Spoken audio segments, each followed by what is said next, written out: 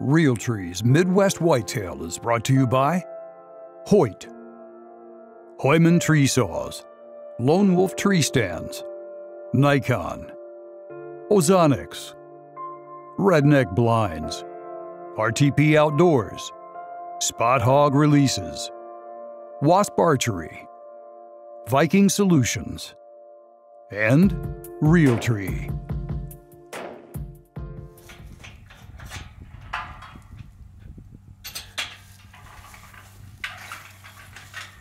Hey guys, October 22nd, and uh, Brad and I spent the morning in the office, and we're not hunting this afternoon, but we're checking cards on a few different farms. Right now, we're back on this farm that I introduced about a week ago, the one with cattle on it, and the one that I'm going to turn into a big project. And for that reason, I'm going to call this the project farm. That way, um, you know, people want to follow along with this story.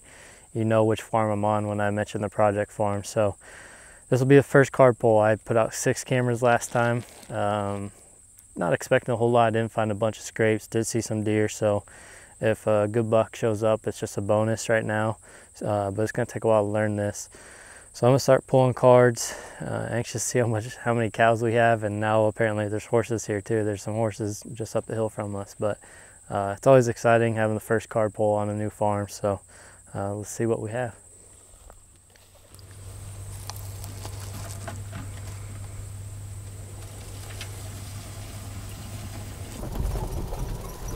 There's a good crossing right here where this fence is down. Dude, that's a shed right there. It's gotta be.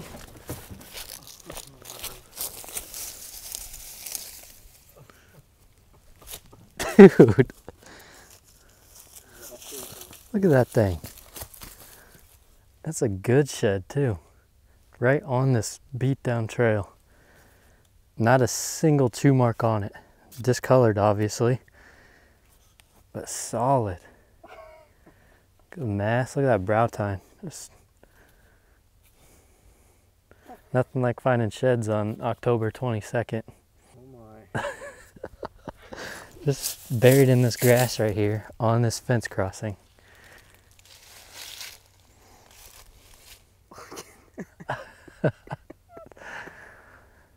Gosh, this place might be okay. I know. That's awesome. All right, so I'm setting up a little CuddeLink system right here. It's gonna be a little small network of three cameras, and this is really a, a perfect situation for this particular spot that I'm staying in is the most accessible. Uh, we can drive right up to it. It's on the cattle pasture, but there's a scrape right out in front of it. So basically gonna just set this up uh, to where this is going to be a home camera. So then I'll deploy the other two down in the thicker cover down below us um, so they can daisy chain back to this home camera. And then all I got to do is pull this camera and those pictures will get sent right here. So it should be perfect for minimizing the intrusion down in the bottom where the thicker area is where we could definitely bump deer every time we step foot in there. Um, so I'm gonna try it, but really there's no better setup than, than what this is. It's gonna keep us out of there pretty good.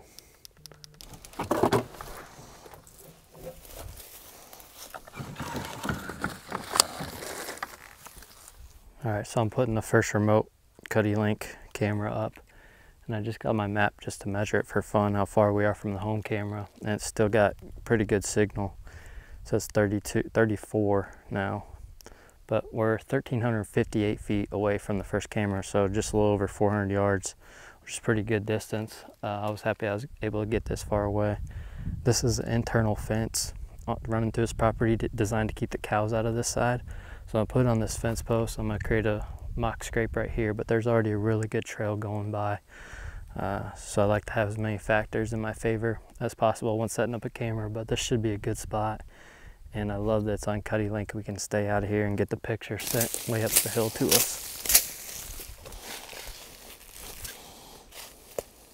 Well, this setup is killer. I love how this looks.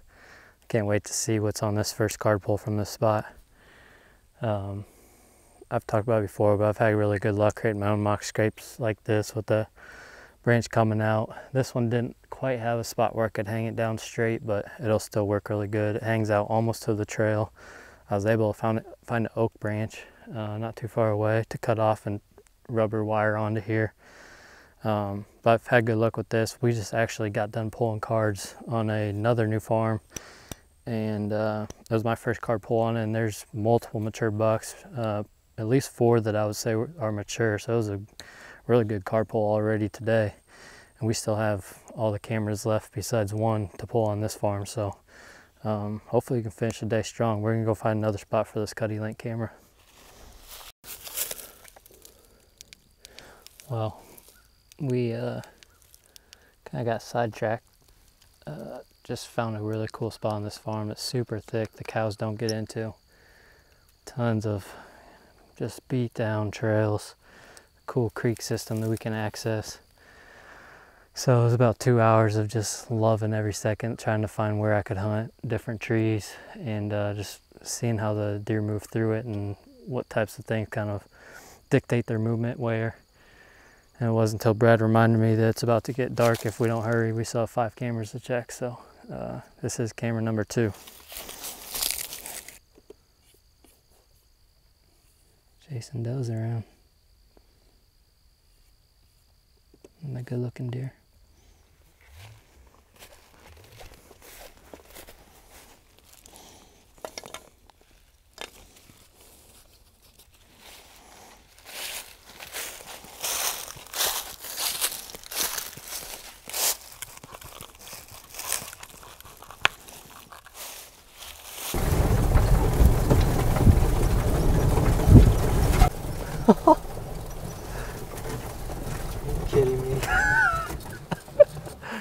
You better go get that one.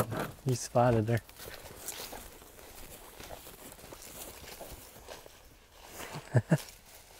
Brad was shed number two on the day. This one's a little bit chewed, but still a solid antler. Cattle pasture bucks. That's awesome. Two sheds on October 22nd.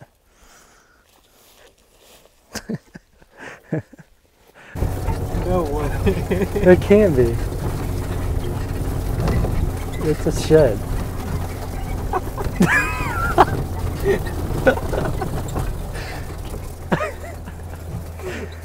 oh my gosh.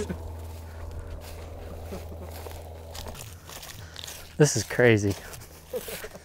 I've never experienced anything like this. This thing is uh, a little bit smaller, but that's shed number three, and all we're doing is driving around in the buggy checking cameras. Dude, this is nuts. Oh I had to stop. I mean, now I think everything is, and it was.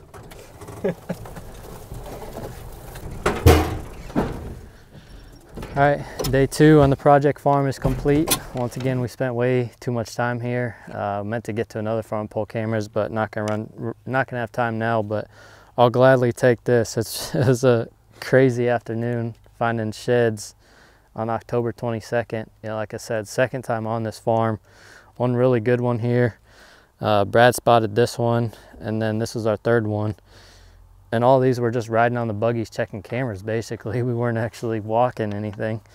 Um, but more than that more than finding the sheds just exploring the property more found some really good areas that the cattle don't go into and the the deer sign is just thick. Um, super super good bedding um, some really cool access spots through the creek that we could potentially get in and hunt on different wind directions. So man I, again i could spend so much time trying to figure this out but this is probably the most excited I've been all season um, with the flooded properties and losing access and all that. Uh, this farm has some serious potential, so I'm really excited to, for this. And once again, I'm going to keep you guys posted on everything I do on this farm to try to learn it and then hopefully to try to improve it in the off season. So this is going to be called the Project Farm. This is day two, and uh, I can't wait for our first hunt out here.